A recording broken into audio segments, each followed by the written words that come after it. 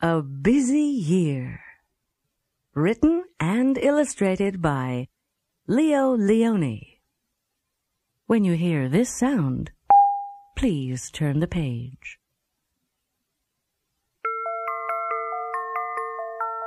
It was the first day of January, and for the twins, it was their first walk in the winter snow. Look, said Willie, a snow mouse. He's holding a broom, said Winnie. But then they heard a voice. I am not a broom. I am Woody the tree. The twins couldn't believe their ears. A talking tree.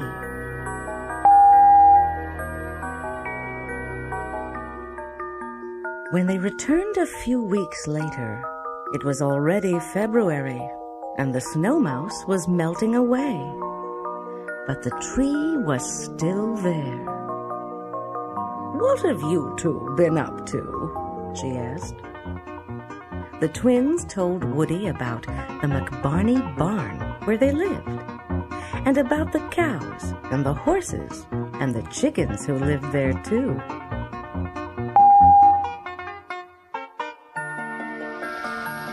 In March, the rain and the wind never seemed to stop. But the twins went to see Woody just the same. She had become their friend. All this rain is fine, she said. I need it. And soon it will be spring. I can't wait. I feel my buds.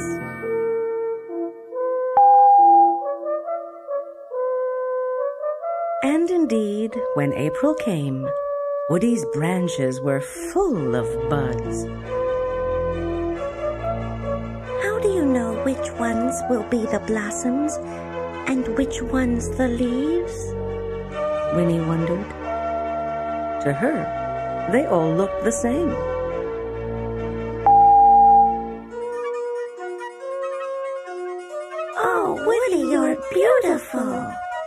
Said the twins when they returned in May. Yes, said Woody, her branches heavy with blossoms and leaves. May is my month. It was warm, and the three friends talked and played all day.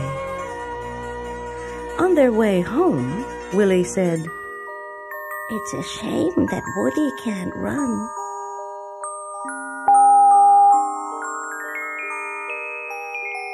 You look sad, said the twins when they saw Woody again. Don't you like June and the summertime? I do, said Woody.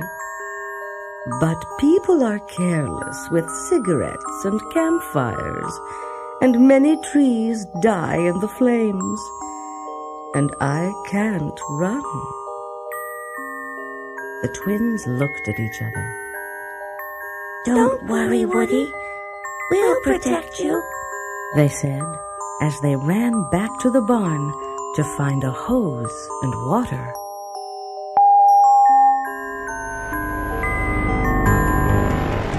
It was July when one morning Winnie and Willie heard screams. Help! Help! Fire!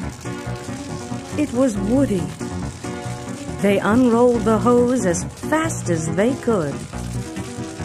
The flames had almost reached their friend, but the twins arrived just in time.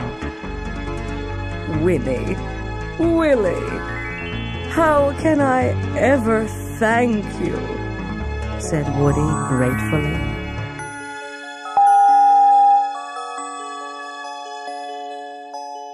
August was vacation month. The twins went to the seashore with their parents. But first, they went to say goodbye to Woody. Woody was sound asleep. Let's not wake her, Willie said. They hung a note from her bark. It said, Going to the shore. Goodbye, Woody.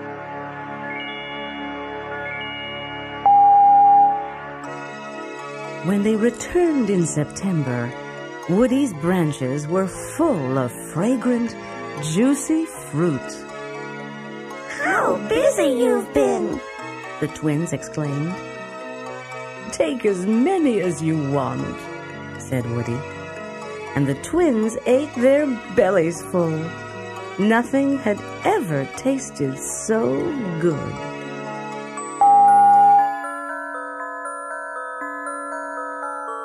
October arrived.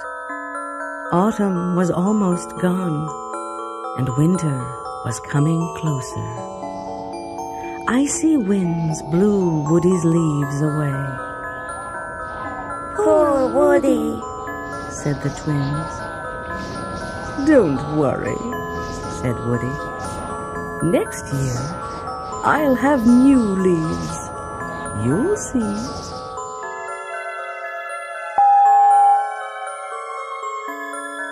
The tree was bare now. It's November already, Willie whispered. What shall we give Woody for Christmas?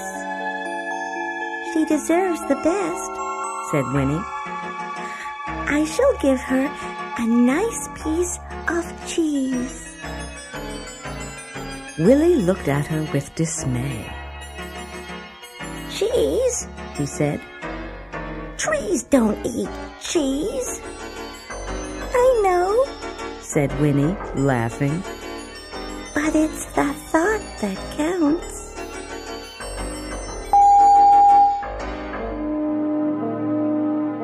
December came. And then it was Christmas. Winnie stepped forward to give Woody her present. What is it? asked Willie. Manure, said Winnie triumphantly. Disgusting, said Willie. But Woody laughed. Fertilizer is just what I need. And she meant it. Then it was Willie's turn. His box was full of bulbs and flower seeds to plant around the tree. Woody thanked her two friends. Merry Christmas! They all shouted together.